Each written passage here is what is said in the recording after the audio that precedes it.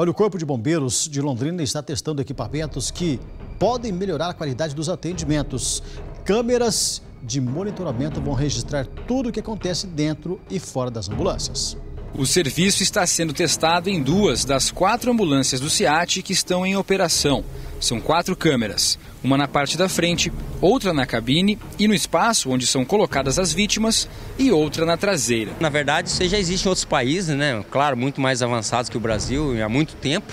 E é um recurso de, de, de mídia, de tecnologia que tem que ser aproveitado aqui também. Eu acredito que a tendência é dar certo mesmo, uma forma de controle, né? Não visamos lucro, mas visamos a, a, a qualidade do atendimento, né? E isso tem que ser demonstrado com aceitação e aprovação da comunidade. Por enquanto, o sistema de monitoramento por vídeo está em fase de testes. A coordenação do SEAT acredita que este período deva se estender por mais 30 dias.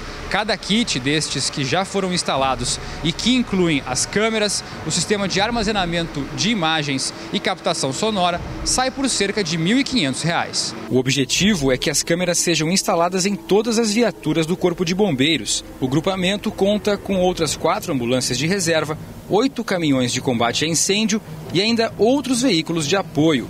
Uma ambulância está em manutenção. A expectativa é que o sistema funcione com transmissão de imagens em tempo real, como já ocorre em outros países. Na verdade, está definido o modelo de captação da imagem. Né? Esse sistema já existe em outros países com a disponibilidade do recurso live, né? ou seja, online, ao vivo, né? que você está assistindo a ocorrência lá no, no, momento que ela está sendo atendida. Então a ideia é que se parta no, no, do princípio já de colocar o que há de melhor. É, rapaz, olha, esse, essa situação, esse trabalho que estão tentando implantar aqui na cidade de Londrina, tem várias vertentes, né? O que pode acontecer, em alguns casos, é que a preocupação grande nesse caso aí é o quê? É com a, com a pessoa que está que tá ali sendo atendida. Com a privacidade. Obrigado aí que eu tinha, tinha esquecido a, a, a palavra. É com a privacidade da vítima. Por quê? Alguns procedimentos são feitos ali pelo soldado do Corpo de Bombeiros, quem está ali na, na, ocorrência, pela equipe médica do SAMU e alguns procedimentos mais evasivos, tem que inclusive retirar a roupa da pessoa. Então você está ali com aquela câmera filmando, será que aquela vítima que de repente está exposta vai se sentir tranquila sabendo que está a todo momento sendo filmada? Uma coisa é você colocar dentro de uma viatura da Polícia Militar, de uma viatura ocorrendo, e isso já tem nos Estados Unidos. E alguns estados aqui do Brasil também, todas as câmeras estão equipadas com, com todas as viaturas, perdão, estão sendo equipadas com câmeras.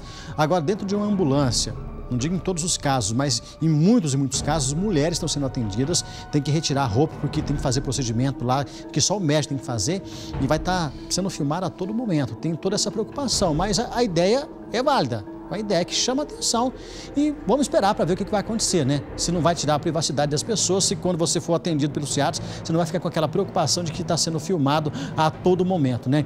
E essas imagens, vai ter, o pessoal vai ter toda uma preocupação para que ela não vaze?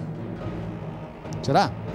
Mas entendo, entendo o trabalho, respeito, claro, só a gente tem que ver, e o, e o Major falou muito bem, o Major Wilson ali, né?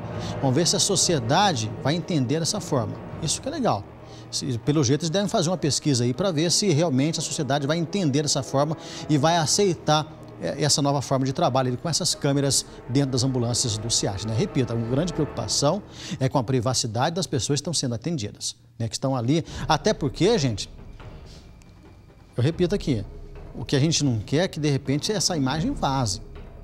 O pessoal do Corpo de Bombeiros tem toda a preocupação, é um trabalho para lá de sensacional, um trabalho incrível que esse pessoal faz. faz.